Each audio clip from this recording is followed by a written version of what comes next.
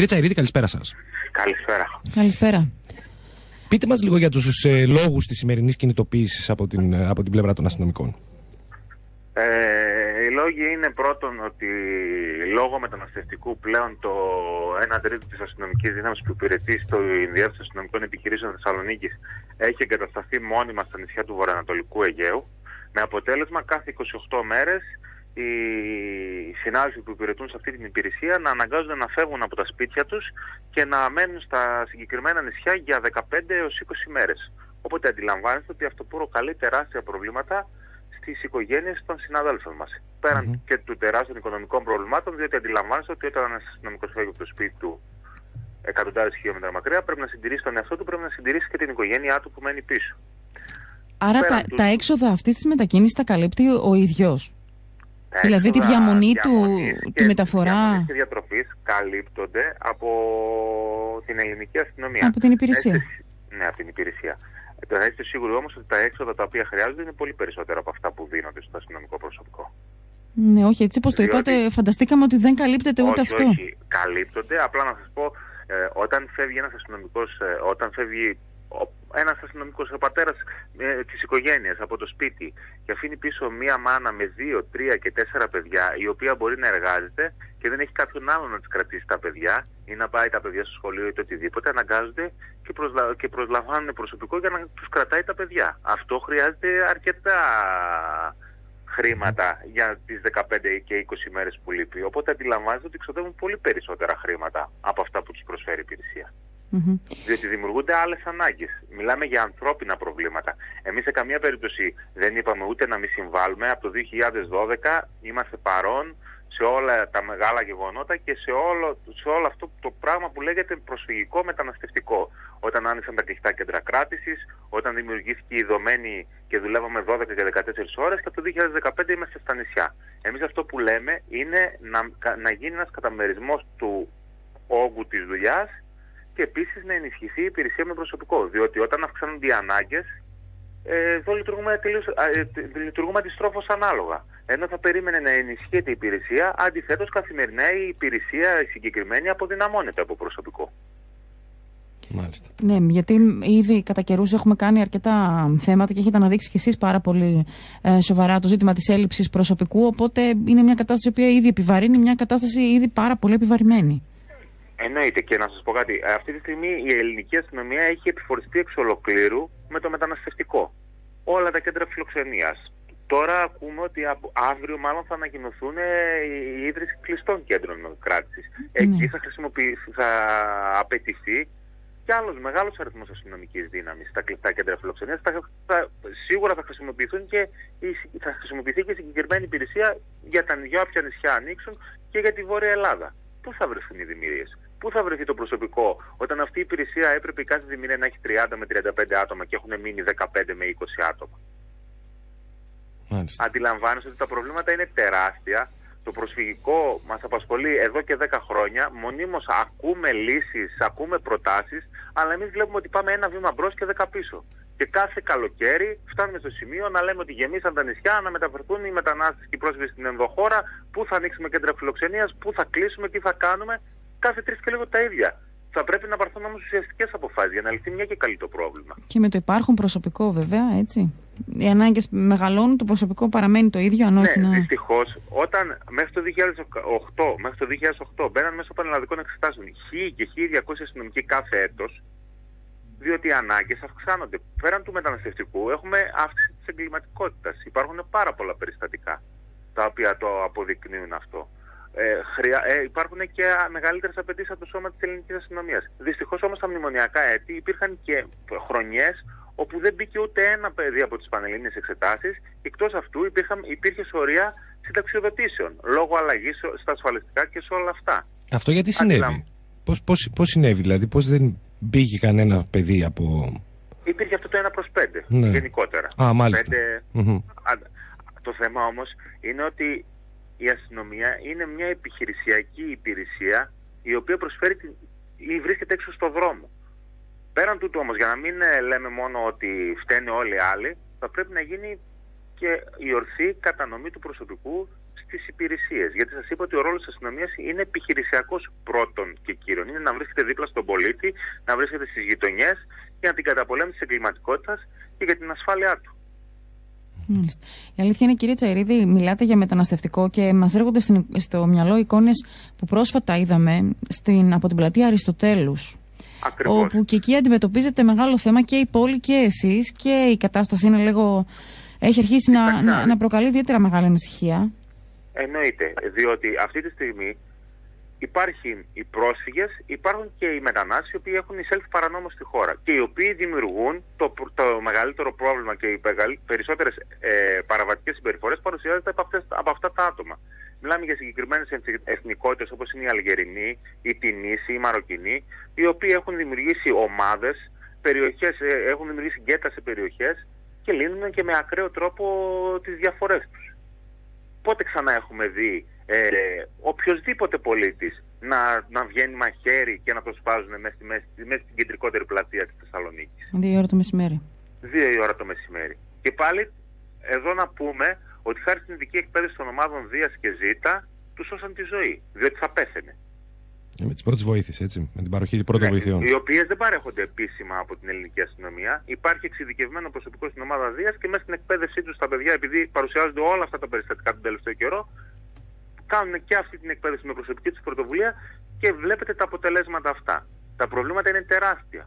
Ο Υπουργός, και συγγνώμη που πλα, αν πλατιάζω, ο Υπουργός είπε η αστυνομία έξω στον δρόμο. Συμφωνούμε απόλυτα 100%. Το θέμα είναι ότι ξέρετε ότι αυτή τη στιγμή 100 άτομα ενισχύουν την άμεση δράση Θεσσαλονίκης και ειδικότερα τις ομάδες Δίας και Ζήτα και δεν υπάρχει ο εξοπλισμός για να βγουν έξω στον δρομο Δεν υπάρχουν τα λεξίσφαιρα, οι στολές, τα κράνη και οι μπότες που συνολικά για να βγει ένα αστυνομικό της Δίας έξω ή της Ζήτας χρειάζεται 1000 ευρώ για να ντυθεί και δεν υπάρχει αυτή, αυτά τα υλικά από το κράτος.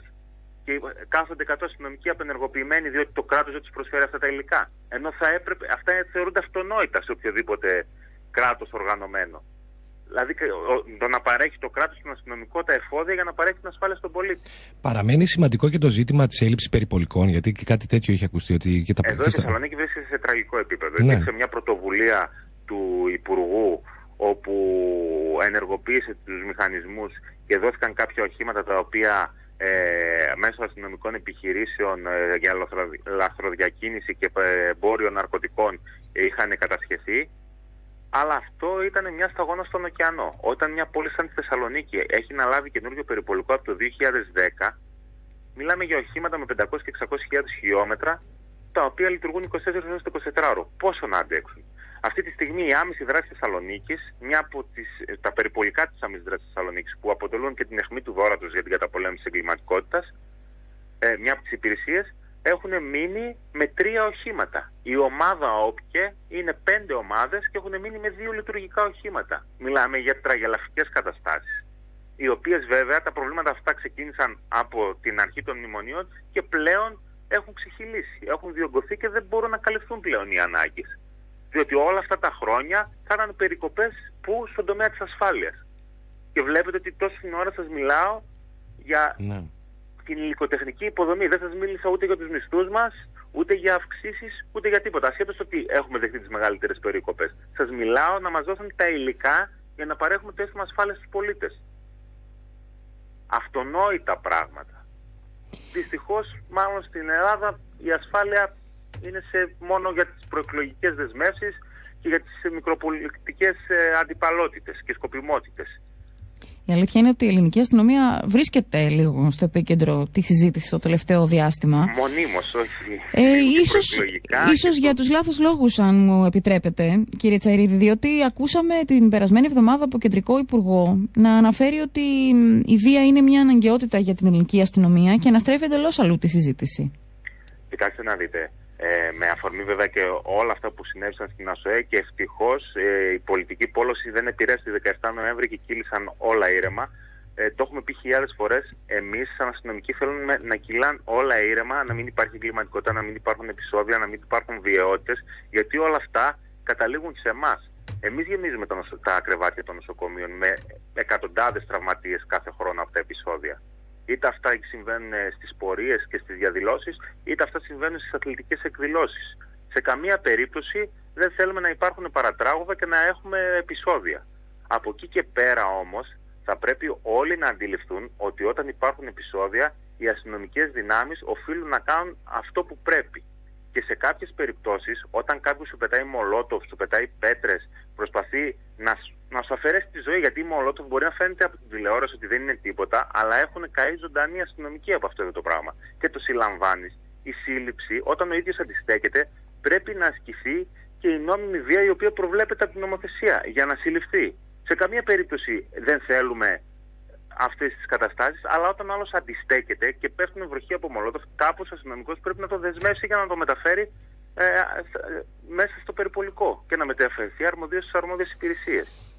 Ε, μιας, και, και, μιας, και, ναι, μιας και το αναφέρετε πάντως ε, επειδή το τελευταίο διάστημα ε, βέβαια δεν είναι στη δική σας δικαιοδοσία έχει να κάνει με τα εξάρχεια για το τι συνέβη στη ναι. 17η Νοεμβρίου στα εξάρχεια κάποιοι μίλησαν για παραβατική συμπεριφορά της αστυνομίας απέναντι σε ανθρώπους οι οποίοι απλά περπατούσαν στα εξάρχεια ε, σε αυτές τις περιπτώσεις τι πιθανότητες υπάρχουν για να γίνει ε, μια εσωτερική έτσι, έρευνα για το τι συνέβη τελικά σε αυτή την περίπτωση; Για το κάθε τι βλέπει το φως της δημοσιότητας ε, διεξάγονται έρευνες και όσοι αστυνομικοί παρατηρείται ότι παρουσιάζουν παραβατική συμπεριφορά έχουν τιμωρηθεί και κατά το παρελθόν και συνεχώς τιμωρούνται. Η αστυνομία έχει, ένα, ε, έχει από τους πιο αυστηρούς ελεγκτικούς μηχανισμούς. Ασχέτως το τι παρουσιάζεται και πώς θέλουν να το παρουσιάσουν κάποιοι. Μάλιστα. Διότι ε, όταν υπάρχει επικαιρότητα, όλοι βλέπουν την επικαιρότητα. Μετά όμως, όταν διενεργείται η έρευνα, κανένας δεν ασχολείται με αυτό. Έτσι. Και από εκεί και πέρα όμως, θα πρέπει όλοι να αποφασίσουμε αν θέλουμε αστυνομία η οποία θα κάνει τη δουλειά της και θα εφαρμόζει τον νόμο και την τάξη ή αν θέλουμε η αστυνομία να κάνει το σάκο του box στις ορέξεις του καθενός.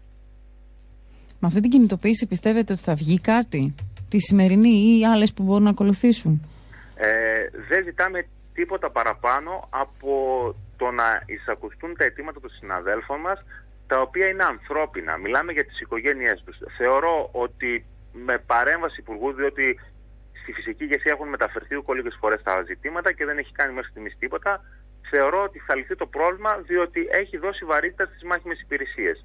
Αν δεν λυθεί όμως άμεσα το πρόβλημα, έχουμε σκοπό να κλιμακώσουμε τις ενέργειές μας, διότι σας λέω ότι μιλάμε για τις οικογένειές τους. Μιλάμε για ανθρώπους όπου έχουν νεογέννητα παιδιά στην γεννάνε οι γυναίκες τους και την επόμενη μέρα φεύγουν για τα νησιά. Έχουν, έχει συμβεί να κάνουν εγχείρηση τα παιδιά τους και να αναγκάζονται την ίδια μέρα να φεύγουν για το νησί. Μιλάμε για καταστάσεις ανθρώπινες. Μάλιστα. Και λογικά δεν υπάρχει δυνατότητα να εξαιρεθούν δηλαδή σε τέτοιες έκτακτες καταστάσεις. Δεν μπορεί να πάει κανείς άλλος. Ε. Ναι, όταν, όταν θα έπρεπε να λειτουργεί η κάθε δημιουργία με 30 άτομα και λειτουργεί με 15-20 άτομα και απαιτείται το σύνολο αυτής να φύγει για το νησί, mm. αντιλαμβάνεσαι ότι δεν υπάρχει δυνατότητα αυτή αντικατάστασης. Ούτε όταν πας κάθε 28 μέρες δεν μπορεί να σε αντικαταστήσει και κάποιος άλλος συνάδελφος. Δηλαδή με το που γυρίσεις θα ξαναφύγει. Δεν γίνεται. Δεν είναι εφικτό κάτι τέτοιο. μάλιστα. Κύριε Τσαϊρίδη, σας ευχαριστούμε πολύ για σήμερα. Ε... Να είστε καλά.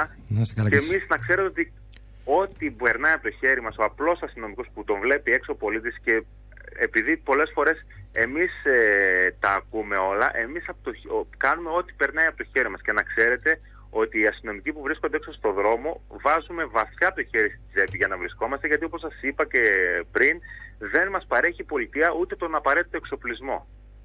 Εν τω μεταξύ τώρα ε, θα κληθείτε να αντιμετωπίσετε και τον αντικαπνιστικό.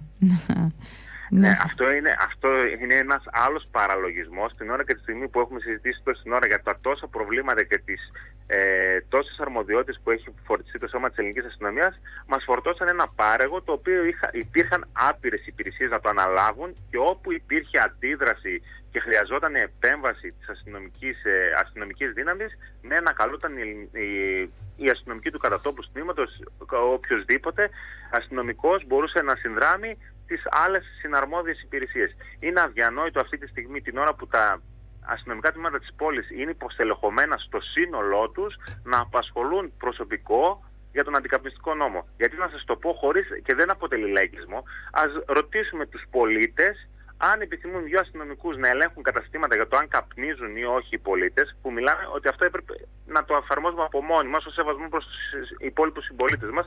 Πέραν τούτου όμως, ή αν θα θέλαν αυτούς τους δύο αστυνομικούς να βρίσκονται μέσα σε ένα περιπολικό ή πάνω σε μία μηχανή για να περιπολούν τις γειτονιές τους και να καταπολεμούν την εγκληματικότητα. Μάλιστα. Αυτό το που ανέφερε ο Υπουργός ότι μπορεί το 20% από τα πρόστιμα να καταλήγει στην, στην Αυτό πέρασε. Γίνεται; Αυτό...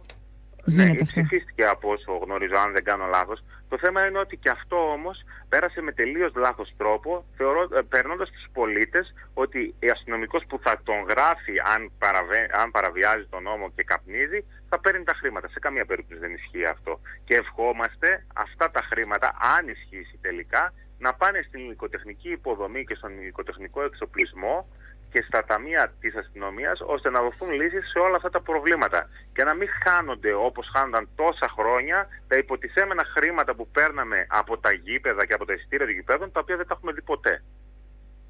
Μάλιστα. Κύριε Τσαρίδη, σας ευχαριστούμε πολύ. Καλό μεσημέρι. Να είστε καλά. Επίσης.